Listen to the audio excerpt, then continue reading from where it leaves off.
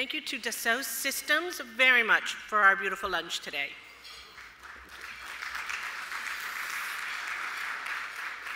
We have um, same drill as before. If you wouldn't mind, please, to continue to enjoy your lunch as quietly as possible so that we can, um, your neighbors can enjoy the presentation. We have a short announcement, and then we will introduce our keynote speaker. As soon as lunch is over, we're going to have you um, visit our exhibits downstairs for about 15, 20 minutes so we can clear the room, and then we will reconvene here for the afternoon sessions. Thank you. Good afternoon, everybody. My name is Ron Welch. I'm the Dean of Engineering at the Citadel. And since we're a small school, I also get the opportunity to be the Associate Dean for everything else that goes on in the school. So I get the privilege of serving with many of your Associate Deans on other committees. And one of the committees is the Undergraduate Experience Committee that we meet at ASEE. One of the things that's come up over the last two years is the discussion on the value of engineering education. Some of us have departments. We put all of our people in those departments. Some of us are hiring individuals to make change. So this survey is our effort to try to gain insight on the value of engineering education.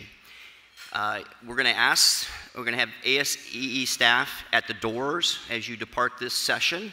And so if after you've eaten and drink, uh, you can't go until you turn, and turn in your sheet, okay? Uh, we've done this before, trying to send it out by electronic, but we know a lot of them get killed so quickly that we really, really need your input on this. So I do appreciate it. Anybody that's a dean that doesn't have a survey, please raise your hand and I'll get you one so that you can leave the room after this session. Thank you.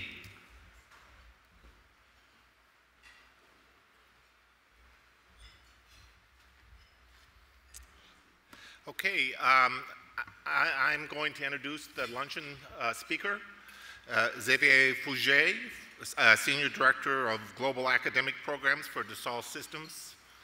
Uh, he is an industrial engineer, former science attache in Vienna. Uh, Xavier Fouger joined Dassault Systems in 1990. He developed new innovation processes for various automotive manufacturers in Germany and Korea. He created the corporate organization in, ch in change of global academia. He designed cutting edge leading initiatives for secondary and vocational education in the United States, Malaysia, Canada, and France, where he introduced a STEM program for 11,500 middle and high school students. He initiated uh, project lifecycle management competency centers in India, China, Brazil, Mexico, Colombia, South Africa, Vietnam, and Argentina. He manages research funded by the US and European agencies on virtual labs, collaborative engineering, 3D and MOOCs, uh, problem-based learning and textbook virtualization. He helps institutions and governments in transferring into education, educational programs emerging industry practices such as social innovation, precision agriculture, the Internet of Things, or systems engineering. A founding member of IFEES and GEDC, uh, the steering committee of SEFI, he provides lectures and seminars on innovation management in various engineering and business schools. He was awarded the Peter the First Medal of the Association for Engineering Education of Russia. So we're pleased to have Xavier Fouger as our luncheon speaker. Good afternoon. It's the 10th time I, the 11th time I enjoy interrupting your lunch. Who was, who was in Puerto Rico 10 years ago attending that same conference. I see about six, seven hands. That's why I like this assembly here. It's rotating a lot. You see uh, many new faces. Some disappear for going back to the joy of teaching. Some disappear for becoming university presidents. It's a good preparation place to become a university president. And I don't know if I will contribute to that brilliant career, but I will at least share some hopefully interesting ideas about what is happening when I observe the global engineering education panorama. Solving problems or differential equations, I think it's not an exclusive or, but uh, I always ask myself, uh, how, what is the percentage of new graduates freshly hired who after one year of professional life solve differential equations? In fact, all of them solve problems. And that's the subject I would like to approach by looking at a transition that is happening worldwide from course-centric learning to project-centric learning. My preferred study of the moment about engineering education is TUEE that is conducted by ASEE. If you are interested in this study, I think the, the PI is here, Ash Ashok Agrawal is somewhere, maybe not in the room, but at the conference. He's leading this study. And when you see uh, um, the traditional exercise of uh, making the inventory of what kind of competences are expected by employers, you see categories that are not subject to courses. How do you teach flexible and capability to adapt to rapid changes. How do you teach that? No one, no professor has that on his business card. And so on. All this list, or at least three, three quarters of this list, is made of things that are not subject to disciplinary learning. Is made of things that you have no time to teach you have no professors to teach. No one is teaching that. You can look at it from a theoretical point of view, but this is all, these are all things you learn by experiencing them. So, how to experience them better than through project centric learning, in which you will learn those things by practicing them without being told that you are learning them. Just by, by being naturally encouraged to practice them. So the flip is this one. It's a global movement from course centric to project centric, from courses pushing the project to projects pulling the courses from uh, capstone projects, projects as a capstone, to projects as a foundation. That means earlier. Methods have been growing over time, and there are two here that I mentioned, which I am watching because I think they are credible. CDIO, I assume everyone knows CDIO. Let, can, can I do a survey? Just raise your hand if you know CDIO. Oh, I still need to explain. CDIO, conceive, design, implement, operate. A learning methodology, specially adapted for engineering.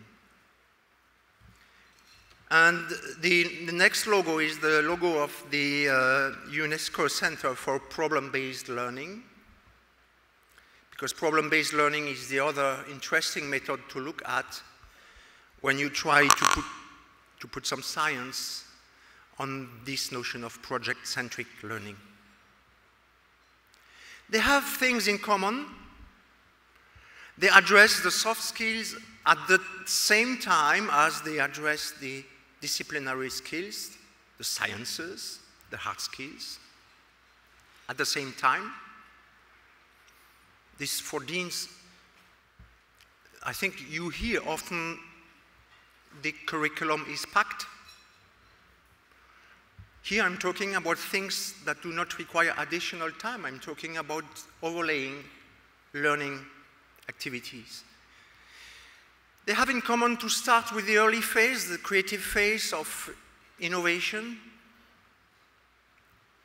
the conceive, the ideation, the production of competitive disruptions. And they have in common to finish with the implementation and the operation, with the creation of something physical. They have in common to be industry realistic because they are looking for challenges that come from the real life, the socio-economical context. They are contextualized, the word that we heard at least 10 times this morning. And they are social. It's a collective exercise. It's an activity for students that they practice in groups. I don't want to, you to, to read these definitions I took from Wikipedia and simplified, but there are a few words that I need to take out of these definitions to really materialize how profound the changes are that these methods bring into the way you organize uh, teaching. It's about having students experiencing. When you sit in front of a lecturer, you do not experience because you don't do anything where you take notes. You experience the art of taking notes. That's a useful skill, but you don't need only that. It trains the students to hunt for knowledge. If you look at the daily life of an engineer, we spend our time solving problems by using knowledge that we do not have. We have to look for the knowledge we need to solve the problems we have. And I mean, I think in, in, in the position of a dean, you do the same. You don't have the information you need. You don't have the knowledge you need to systematically provide an answer instantly. If that would be the case, your, your working days would be shorter. And it's a very profound change in, change in the organization of a program. That's the challenge on you. And when you look at CDIO, there are similar concepts that I want to emphasize. It's about real world subjects. You have to bring the reality of the external world into the curriculum. You have to put the students in context. And it's gaining ground. Your, that's probably the Nobel Prize for Engineering Education. It's National Academy Gordon Prize. It was given last year to WPI for their revolutionary implementation of PBL. So uh, I think the Academy, and maybe there are members here who wanted to encourage this movement. And I think it's just the beginning. In other countries, this is a global movement. Last year in November, the World Bank announced with the government of India a new program for modernizing technical education in this country. And uh, when you look at the announcement, one of the purposes of that program is the one written here, developing problem-solving skills. In my own country, the French equivalent of the ABET has published in April its new guidelines. Just orientation, it's not, nothing is mandatory here. And here also, they have been announcing that in audits they would look at signs of the growing application of problem-based learning.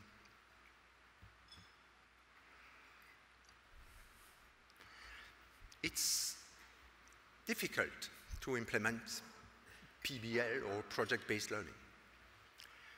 It's difficult for the dean because it's an organizational challenge. If you imagine that there are institutions on this planet where all the courses are planned as the consequence of the projects. That's an organizational challenge. So that's why I'm not, I will never be preaching that the, the 100% application is the good one because it may be the good one, but if it's impossible to apply, why looking at that? You can move the cursor in the direction that I am preaching here, but I do not expect anyone to do the 100% curriculum this way. I think it's just technically very, very challenging. But nothing prevents to move the cursor. Other challenges are here. Cross-disciplinary cultures. We heard that word also, interdisciplinary, cross-disciplinary. It's a permanent challenge. We could have a statistic over those conferences over a year about the number of times this word is pronounced and see the curve growing. Transitioning faculty from the I teach attitude to the they learn attitude. Most of uh, faculty, like me, they like to be the sage on stage. And here is a, a movement that is asking them to be the helping guy, working around, helping project teams, solving the problems they have in solving their problems. And this is a difficult role. Supervising projects, if you want to do that seriously, you have to take time, give time to the students. How? And this is, a, this is an activity that has never been automated. You use standard tools to facilitate, you use mailing if you are not together with, with the students. You use tools. But you have to intervene sometimes very early in a project group. They are not with you necessarily. At the time, they're, they're stuck. You may be overseeing 10, 20, 50 projects at the same time. How do you divide your time for the teams? You have to balance the work among team members. You know these situations where the, there are one or two students in a team of five or ten who are really the workers. The others, they encourage them. You need to encourage peer assistance as a supervisor. Because, because you cannot assist every time, you have to, to, to encourage and find mechanisms by which they will help each other. To learn, to solve problems, make micro problems that can just block their progress. And you have to evaluate the results of individuals while they have produced something as a group, how to attribute the results. The industry cycle of solving problem goes through these simple three steps. You have to find inspiration, you have to innovate, and to create a solution to a problem. When we try to transpose this into education, into project-based learning, creation is the thing we do traditionally because at that time we, we look at the solution already. And this ends up in, in all the courses we know. Courses in which you tell students, uh, produce this technical object or this technical system. What we do more and more, but not yet enough, are the two other things innovate and inspire. But when you look at a student, a student group involved in a project, you just gave them the assignment. You go out of the room. What do they do first? They go on internet. They, they, they start their research about the problem you have given them or suggested. Could we not help them by doing with them exactly what we do in industry, a structured approach of those, this ocean of information that is internet? Approach, tools, ways of extracting the right information? We cannot just transpose these three things into education. We need two more things. I think you will agree with that. You, they have to learn and you have to evaluate them. With that, we have five categories of activities that can be automated. And in my thought process, when I, when I tried to do this, this translation, I, I, I ended up realizing, remembering the core business of the company that is working, that I am working for. It's a company that does solutions for engineers, tools for doing that cycle on the top. These tools. With, so it's traditional CAD, CAM, etc., things you know.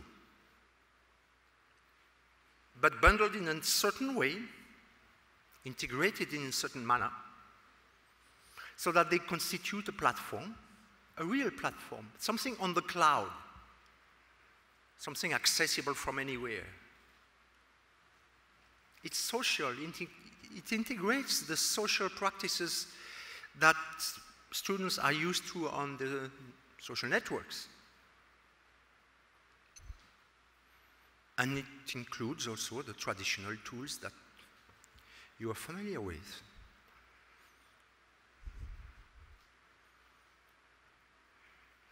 Here are just a few types of, a few employers of these techniques. In fact, there are 170,000 companies that should be on this chart. This is just a sampling to show you that these kind of techniques, they are employed in very diverse industries, not just the traditional electromechanical industries. Why, why is Procter & Gamble using these tools? Because they need to anticipate the behavior of baby diapers when they are wet. So these issues you find in all industries. So what we did is this. We took those five types of activities that characterize project-based learning, and we customized this platform I was just showing in a manner that presents workspaces in those five categories. Inspiration is about presenting uh, different sources on the internet that relate to the problem you're looking at, to the statement you have been giving. To trigger the curiosity of uh, uh, students so that they do not just jump on a solution but explore similar problems. This tool you can customize so that they arrive in an environment that is already opening a window on this problems area. And then they can add their own in such a window. There are more tools in this working environment to analyze what the web is saying. This, when we did this, we were inspired by L'Oreal, the cosmetic company, because they were using one of the tools that are embedded in this workspace to observe chatting 15 years, 15 year old girls in Australia talking about uh, shampoo that would glow in the dark. And then they started thinking, should we do such a product? And they decided not to do it. So sometimes you need, you need these tools to decide to stop with, in full knowledge. But anyway, here you, you provide your students with the environment you want them to explore, to start from, and to collect inspiration. When they will come into the innovation activity, it's the traditional brainstorming. When you brainstorm, your enemy is the cleaning staff who removes your post-its from the wall in the evening. Because then good ideas that you may not have selected are forgotten. If you do that electronically using this type of tool, you would then be able, one, to discuss collectively in a dispersed manner. You don't need to be together. You would rank the ideas the same way you rank posts on a, on a social network. And this will be persistent. An idea you do not keep, you do not promote this idea, you will still be able to come back and re explore that if you realize it was not such a bad one. And so on. These are tools that automate the process of producing a solution concept. At this stage, it's a concept. You are not drawing anything. You may sketch things, but you express ideas. Now you come into the creation process. Now you find the traditional tools for designing, for manufacturing preparation, for prototyping, for project management. These are not just tools to design things, it's also tools to manage the project. And these are all then coming through that same single window.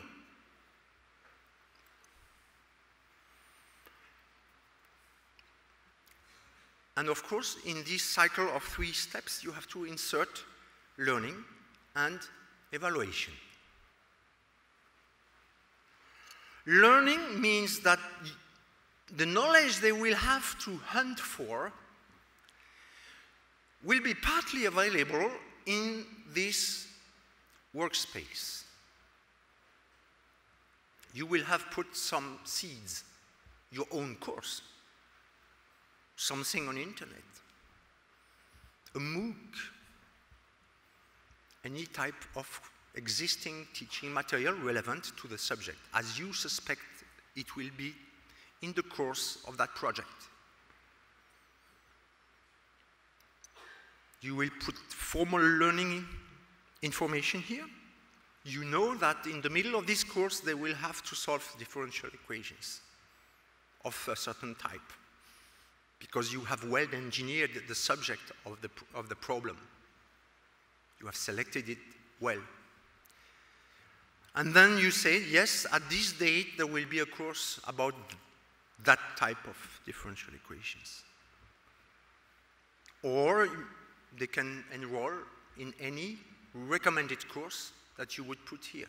Or they will find some content that they feel interesting and share that with their peers.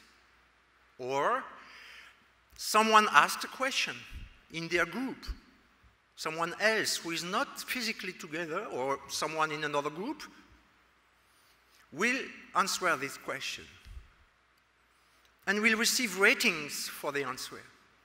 So this will bring the, the, the, mechanisms, the social network the mechanisms that they are used to into their university activity.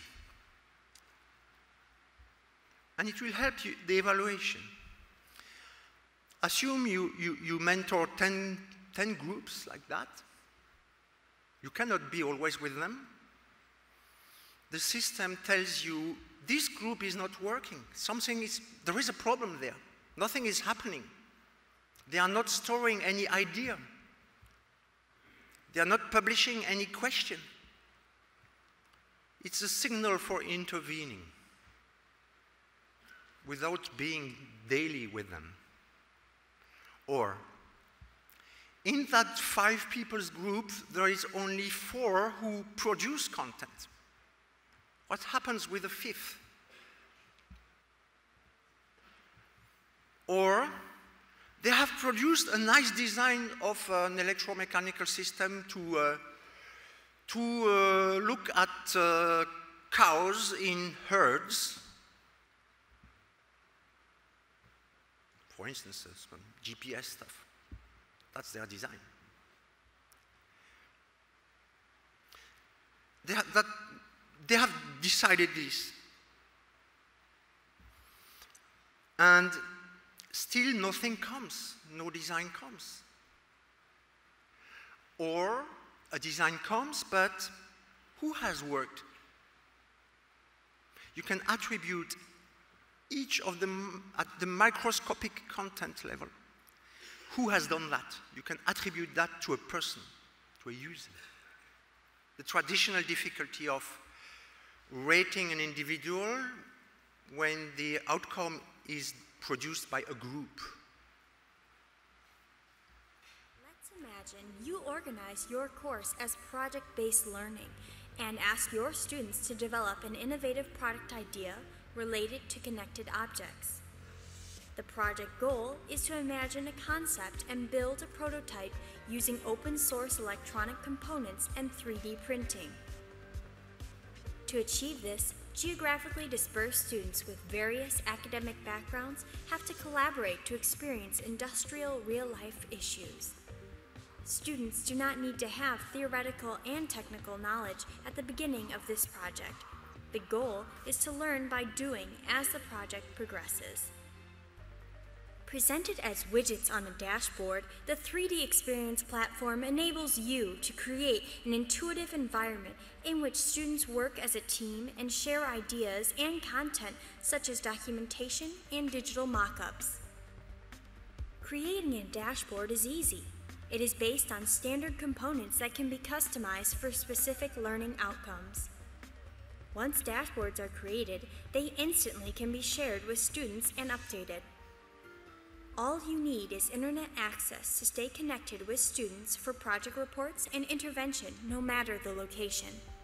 Here is a dashboard that you can use with your students. It consists of four tabs Inspire, Learn, Innovate, and Create.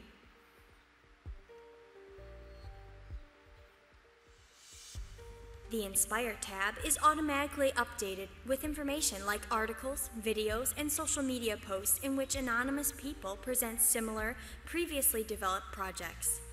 Students can use this state of the art tab as a source of inspiration to catalyze smart ideas and stimulate their creativity.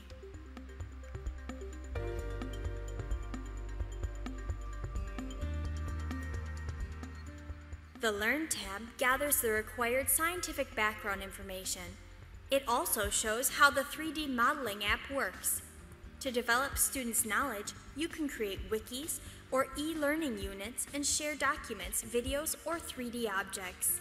Students can access such educational resources depending on their academic knowledge and needs, and collaborate using their skills to manage the project.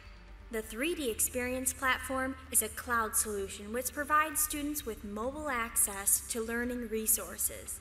This enables them to work independently, ask and answer questions, or assess whether peers' help is needed anytime, any place. In this context, educators act as coaches, supporting students as the project progresses. Debates among stakeholders are essential in innovation processes. They are promoted throughout the Innovate tab. Here, all team members express, discuss, define, or abandon ideas.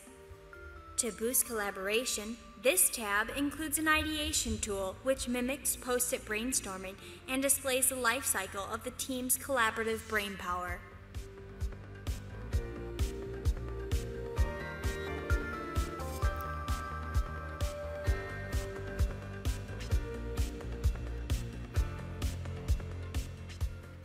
decomposition and project planning are the backbone of engineering management. Within project spaces, students can manage their projects and you can supervise the progress in real time, identify at a glance any delays, their causes, and intervene if necessary.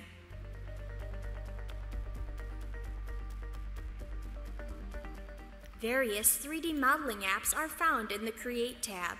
They enrich the project with digital mockups and their lifecycle characteristics.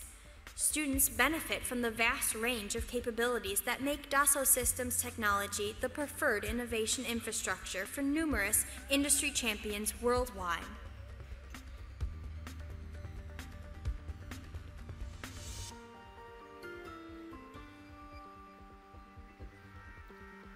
I interrupted here because I see uh, my time is over. Anyway, the conclusion is it was not that over.